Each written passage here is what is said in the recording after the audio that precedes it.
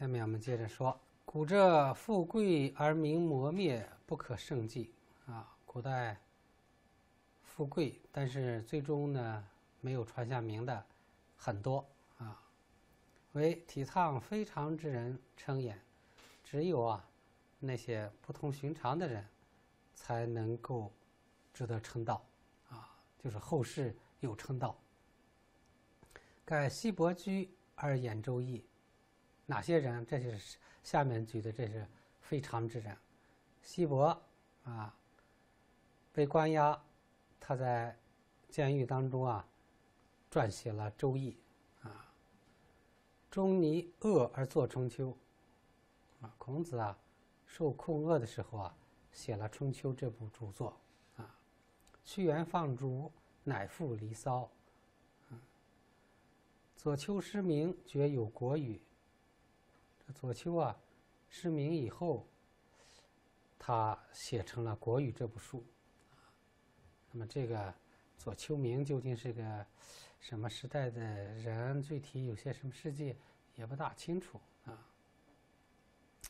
失明的说法，看来也是有一些依据的啊，因为过去啊，这个。史官，尤其是更早的一些时代，很多都是盲人来充当的，啊，因为我们看到古代文献说是古献史嘛，啊，他说古呢就是盲人给献上这个史书史史料什么的，啊，那个荷马史诗相传也是盲人嘛，对吧？为什么是盲人适合于做史官呢？大家明白这个道理吗？他记忆力好，他善于背诵，知道吧？他能够记住。盲人史官无非就是把历史上发生的事件你装在大脑里。如果这个比这个这个这个记载文献记载不发达的情况下，大脑是很重要的，所以史官们。适合于做这瞎子适合于做这些事儿，啊，因此很多的这个我们说古史古史啊，哎，为什么这两个词连用？就是盲人是做史，啊，正因为这样，左丘失明觉有国语，还是有它的道理的啊。松子鬓角，鬓发修炼，那么文莹说呢？松子与庞涓学，而为庞涓所断足，啊，断足。是古曰：“兵应平人反。”那么，兵角什么意思？按照你们通常的理解，兵角是什么意思？周学芬，你说兵角是啥意思？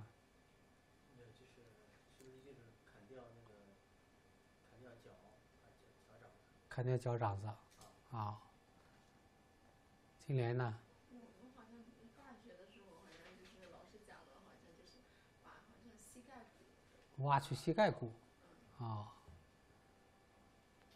这个流行的说法就是挖去膝盖骨，或者是砍去膝盖骨啊，或者是什么接去膝盖骨，反正是流行的说法是这样的啊。但是你看看文嬴是他是东汉时期的人啊，他怎么做？他说为庞涓所断足，他说的是断足，不是挖去膝盖骨啊，足没断呢啊。当然也有人说挖去膝盖骨了，你这个脚也不能走了。虽然你的脚上脚还在，但还是相当于断了。他用这样一个办法，把这个断足和这个鬓角。呃，做了个沟通，但他的实际意思好像是说，鬓角是鬓角，断足是断足，两者之间词义不是同一个关系，啊，不是同一个关系。实际上，这样一种流行的说法是不对的，啊，不对的。咱们来看这个《周礼·秋官》，月罪五百，郑玄注：月断足也。周改兵作月。那么郑玄的意思说啊，周代已经把这个呃，并刑啊废除了，它换成了月刑，啊，换成了月刑。也就是说，周代没有并这个刑罚了，啊，这个刑罚应该是殷代的，啊。贾公晏书，兵本意苗以虐刑，告尧改兵作非，周至周改非作乐，啊。下面的这句话更重要：“书传云兵者，举本名也。”也是什么意思啊？就是说，现在后周代以来的文献当中还提到兵这个刑法，但是这已经不是这个的本来的意思，他只是啊举了他的本名而已。因为在周代呢，他用这个月刑替代了兵刑。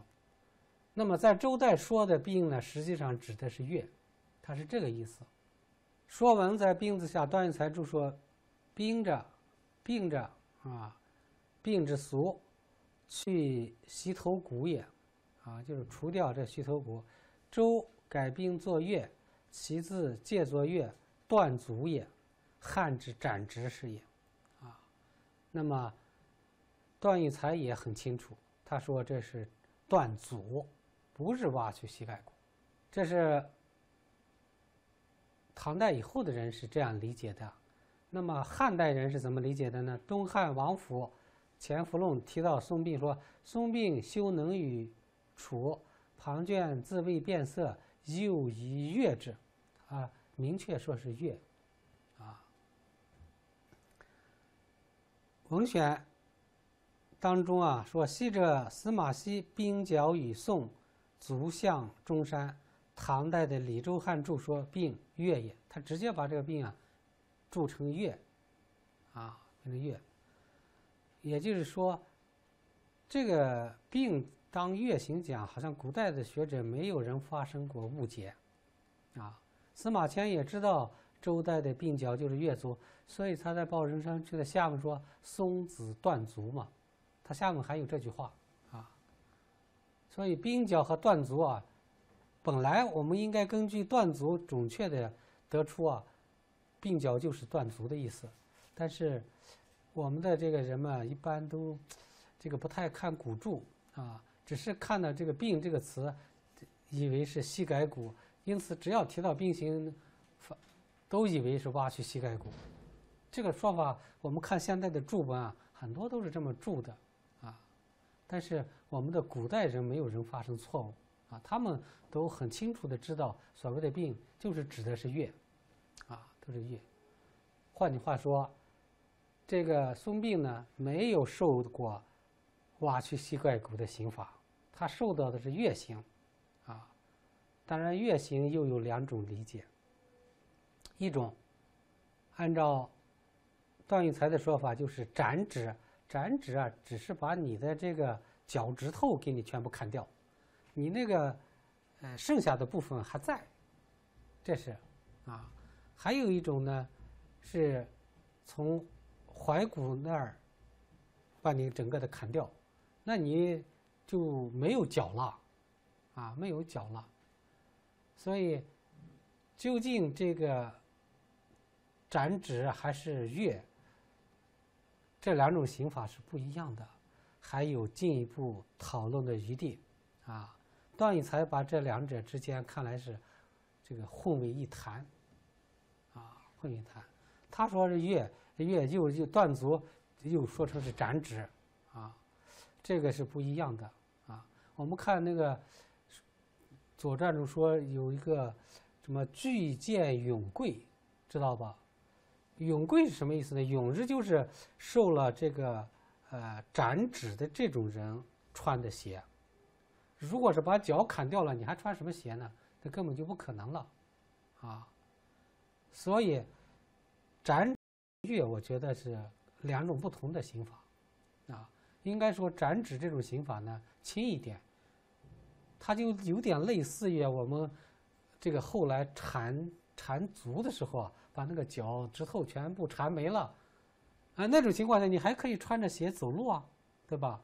但是脚整个砍掉了，走路的可能性就很小了。更不存在什么穿上鞋的问题了，啊，你那就光剩下一个这么个一模，你鞋往哪儿套去啊？你没有套的东西啊。但是展纸它有套套脚套鞋的脚啊，还是，所以月和直它的异同还需要进一步的辨析。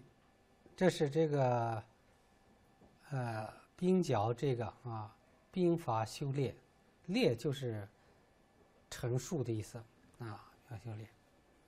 不为签署，世传吕兰啊，不为就是吕不韦，吕兰就是《吕氏春秋》啊。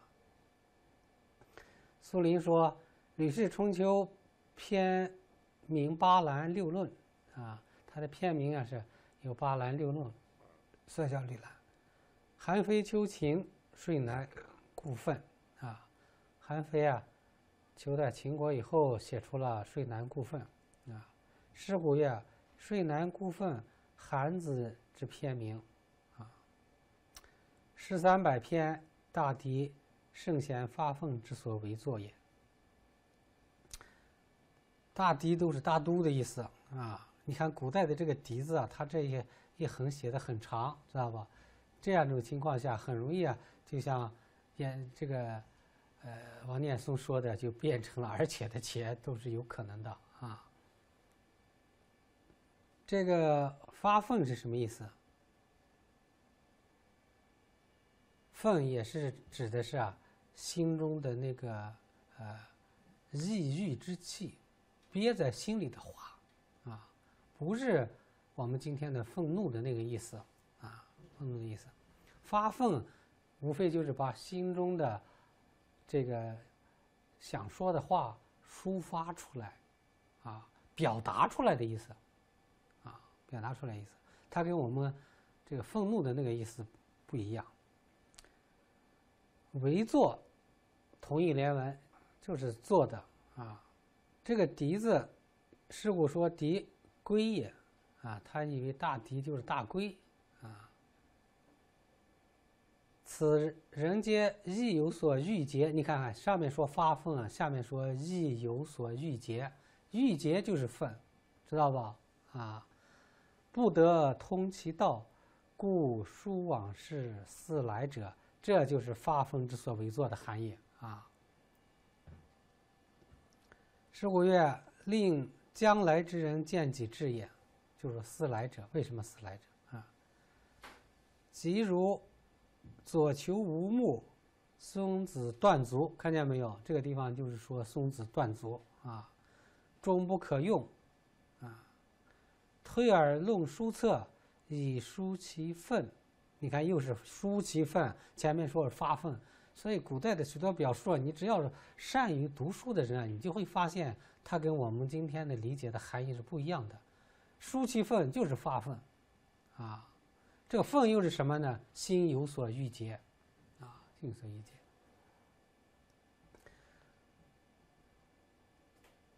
这个推而论书策，论书策怎么去理解？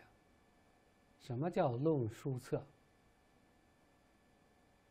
金莲，你说呢？嗯，我觉得就是应该就是说多看一些书啊，并且一些就是说对这些书的一些看法或者就是说自己的想法这些东西。你说的论和书册什么关系吧？是评论已经写好的书，还是什么意思啊？还是把议论发表成书册？应该是把议论发表成书册吧。啊，议论发表成书册，叫论书册，啊。王红雷，你说呢？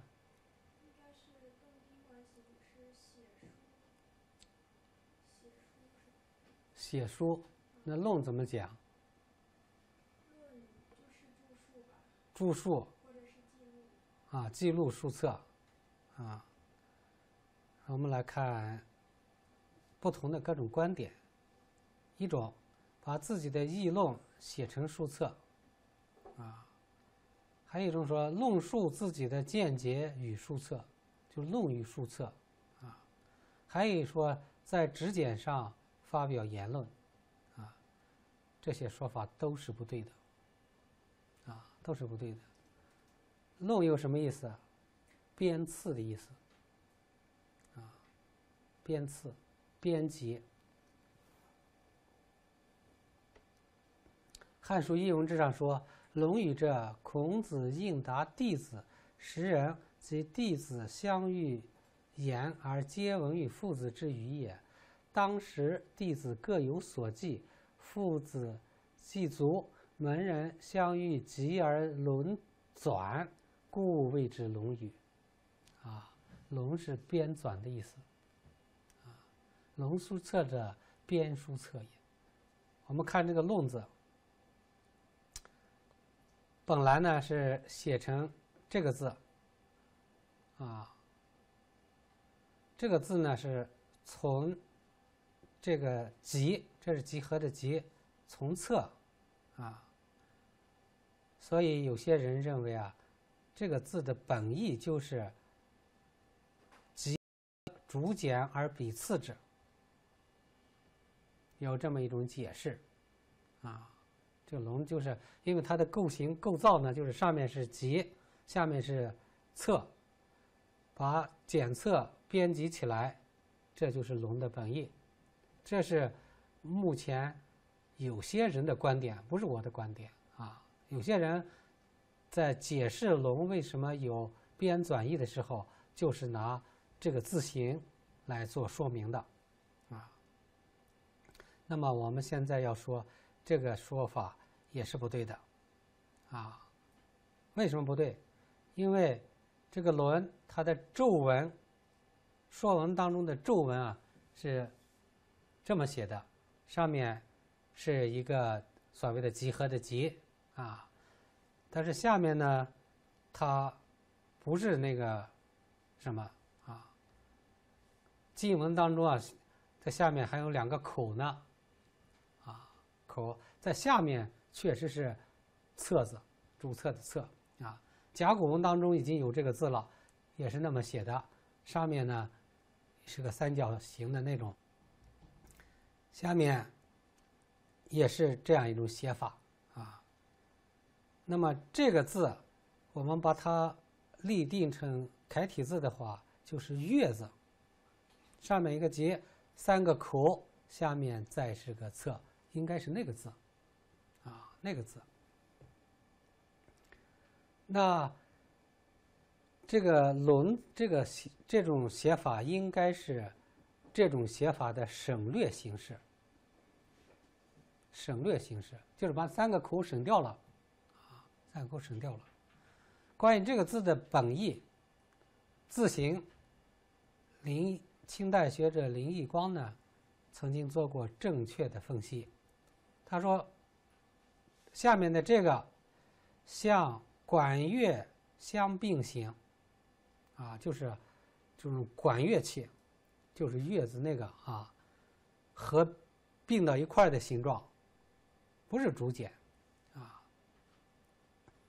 因为这个管乐的口上面还有口呢，啊，还有口，就是这个排箫之类的，啊，排箫之类的，上面有吹口，上面的这个是什么呢？像个这个三角形的，他认为是道口，啊，道口，道口呢就是人用嘴去吹，所以这个字它的本意应该是啊，类似排箫的管乐器。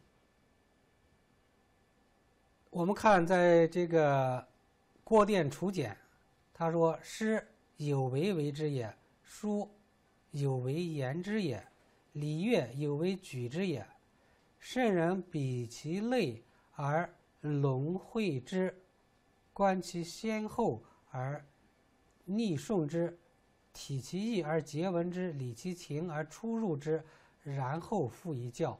轮会就是汇编的意思。也就是说，这个“轮”呢，它直接就就是没有那个言字旁的时这个字啊，用作编纂。为什么用作编纂？因为排箫它是要编到一起的，所以它就引申出编纂编排的意思啊。所以这个轮会就是汇编啊。那沿弄的意思是怎么来的呢？因为你这个编排到一块的这个竹简，它本身就是人说的话，人的言论，啊，所以呢，他又把它加上个言字旁，加上言字旁呢，也是编纂的意思，啊，因为在古代呢，经常要这个呃编排竹简。所以这个“龙”呢，它就指的是编排竹简，编排的竹简呢又是人编的言论，所以它就加个言字旁，啊。又因为所编的是人的言论，所以它就引申为言论的意思。搞清楚这个之间的关系了吗？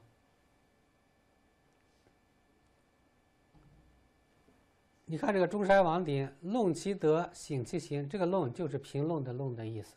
啊也就是说，最早它直接就是这个这个“论”这个字一个字，啊，后来由于编排的是言论，所以加个“言”，啊，言论的“论”这也就是这么来的，啊，所以最早这个词的本意是管乐器，啊，因为这管乐器是要编成一排的这种排箫式的管乐器，所以它就有编排的意思。而古代有经常编排竹简的这种活动，啊，你要经常编排竹简，所以编排竹简也叫轮，啊，由于竹简上的文字就是人的话，所以加了个言字旁，加上言字旁，它也是编排的意思。再进一步引申，编排的竹简上都是人的话，所以引申为言论的意思，啊。它整个的这个引申过程，我认为这个词义的演变过程应该是这样的。所以，就字形而言，它不是直接的编排竹简，不是编排竹简，啊，因为我们从文字的发展演变来看，它是啊那个乐的一种省略的写法，它不是直接那么构成的，啊，所以根据字形去分析词义啊。不能仅仅拿着后世的字形去想，一定要推延到最早的，啊！如果你在能甲骨文当中能找到，你就不能拿着后世的小篆去说，啊！这就是这个词的演变的过程，啊！它最早是乐，啊，后来呢，有了编排的意思，再后来有了言论的意思，整个的发展过程是。这样的啊，所以这个龙书册呢，就是编辑书册啊，编辑书册跟这个议论没有关系啊，而且这种情况下，这个字我们应该读“伦”啊，应该读“伦”，这就是推耳龙书册的意思。以书自奋啊，仆妾不自训。竟自托于无能之词，网络天下，放诗旧文，啊，放也就是已经佚的意思，啊，佚诗的这些旧文，考之形式，积其成败兴坏之理，即考察，啊，凡百三十篇，这就说他的《实际》啊，《实际》就是一百三十篇，意欲就天人之际。天人之际，就是天和人之间的关系。通古今之变，成一家之言。草创未就，还没有完成，没有全部完成。是会此祸，啊，就是是就是刚好啊，会就是碰上，遇上这个祸，希其不成，是以就其行而无愠色，啊，碰到。这个服刑这样的，他也没有生气，啊，甘愿忍受。仆臣已著此书，现在已经完成了这个书了。也就是说，他给任安写信的时候已经完成了啊。藏至名山，传至其人，通义大都，传至其人，通义大都，怎么讲？有一种讲法说。流传于都市，把这个“通”啊当成流传流布，这种讲法不对啊。通义大都是古代的一个成语，它泛指大都市。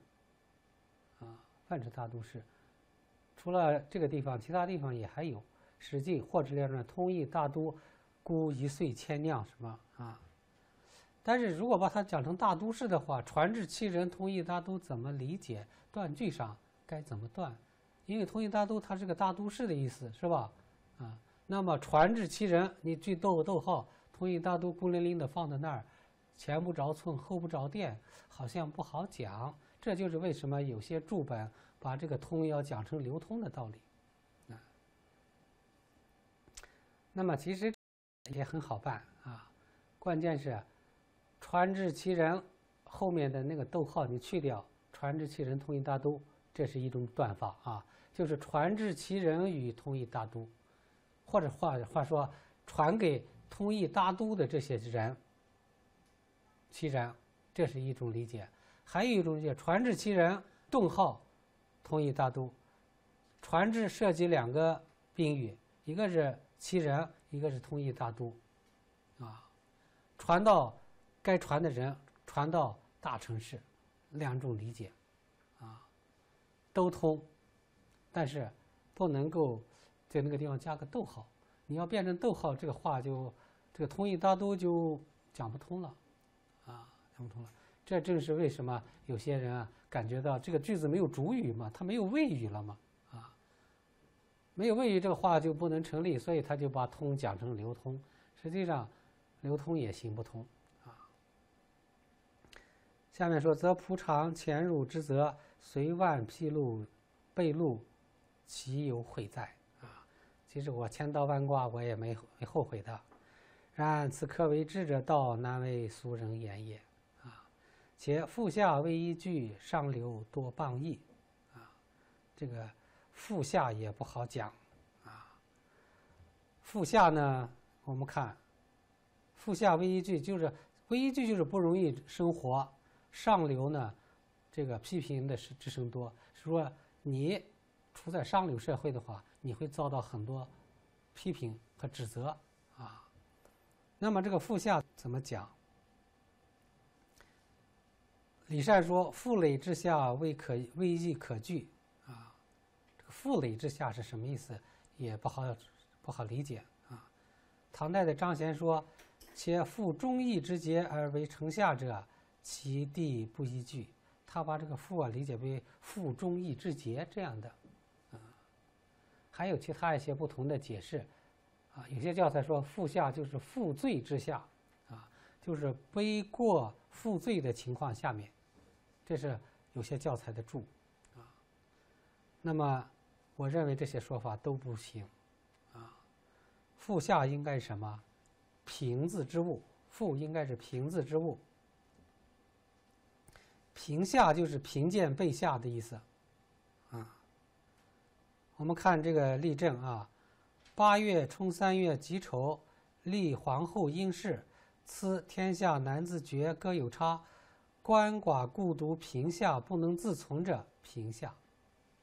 古代有贫下这个词，啊，贫下就是贫贱低下，指这种人。其他的，你看北魏的这个所在田园，分级平下，分级不要读成分给啊，你那以为好像给的这个词很早就有了。这个平下呢，就是贫穷地下的这种人，啊。由于这个平字跟这个富字字形相近，所以它就讹误成了富。讹误成了负，啊，我们还有没有其他的证据呢？你光是说了“平下”这么个词，是吧？那我们来看后人引的这个宋代潘自牧的《金海》卷六十一，曾德秀的《文章真宗》卷十五引的这个《报任少卿书》啊，就是写作“平下”为依据，啊，这是直接的证据。古代的引文有这么个意思。那么回头再来看，说这个“平下”为依据，意思是说你处在卑贱的这种环境当中啊，生活很难，啊，但是你处在上流社会呢，你又会遭到各种各样的谤议，人们给你造各种流言蜚语的这种很多，啊，因为你处在互相这个竞争的环境当中，你是一个家里边穷的叮当响的，没人说你有绯闻什么的，对吧？但是如果你是上流的，就容易有这种指责啊，多就这种谤议。一个是下，一个是上，上下相对，啊。后来的文选当中啊，他把这个呃上流多邦业讹误成了下流多邦业，啊，这个也是流传过程产生的讹误。最早是下对上，后边就由于他这个平下讹误成了负下，他就讲不通了，又去改那个上流，啊，这些都是。需要大家细心体味才能体味到的。仆以口语欲遭此祸，口语是不是我们今天的口语？就是说话的意思啊。众为相当怒笑，侮辱先生，一何面目负上父母秋木乎？就说古代有一种规定，这个礼仪礼礼礼制的规定，这个罪犯不能上父母的坟墓的，犯了罪的人。啊所以他说，他没有资格去给父母上坟的啊。虽累百世，垢弥甚耳。即使过上一百年，你的这个耻辱是更加的重啊。是一长一日而九回，啊，他的肠子一天转上九转。这司马迁这个这个心灵的创伤是非常的深重啊。居则忽忽若有所亡，待在家里的时候啊。好像丢失了什么东西，出则不知其不知所如往，出门啊不知道往哪儿走，神情恍惚啊，已经这个精神失常的感觉。每念思迟，汗未尝不发背沾衣。每念想到受的这个宫刑这个耻辱啊，汗从脊背上就流出来。生之为闺阁之臣啊，生呢不过是个闺阁之臣啊，宁得自营深藏于岩穴也？你还能够像那些这个品德很高的那些隐士一样藏在深山里吗？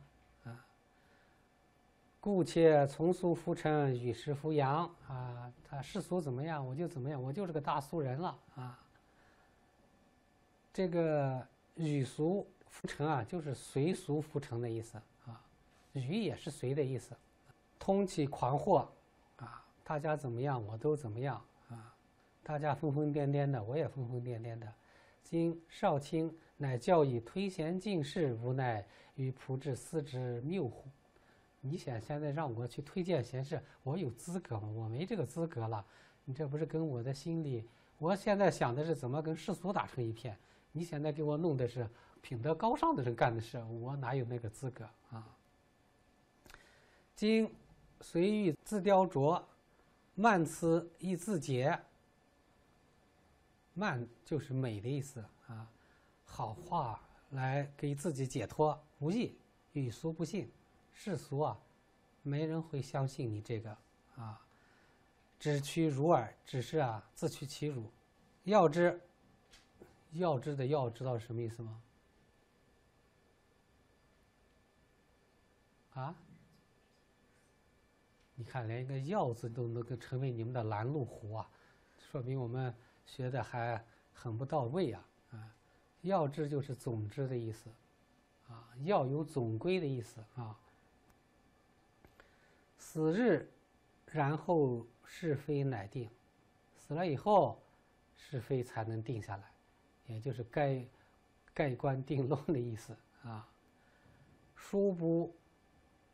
不能尽意，故略称故漏，啊，书就是信，信当中啊，没办法把心里的话都能够说出来，这就相当于我们经常说的“余不疑一”的那个意思差不多啊。下面说故略称故漏，这个故略称故漏的“故”字怎么讲？好像也按照我们常见的，所以略称故漏。文艺上不顺是吧？啊，我不能敬业，所以略称咕噜，这什么话呢？啊，这个“故”呢，它不是转折连词，啊，应该只是的意思，啊，我只是呢，略微的陈述一下心中的这些，呃，想法啊，卑贱的这种见解啊。那么“固有指示”的意思，这个大家看那个《世说新语》。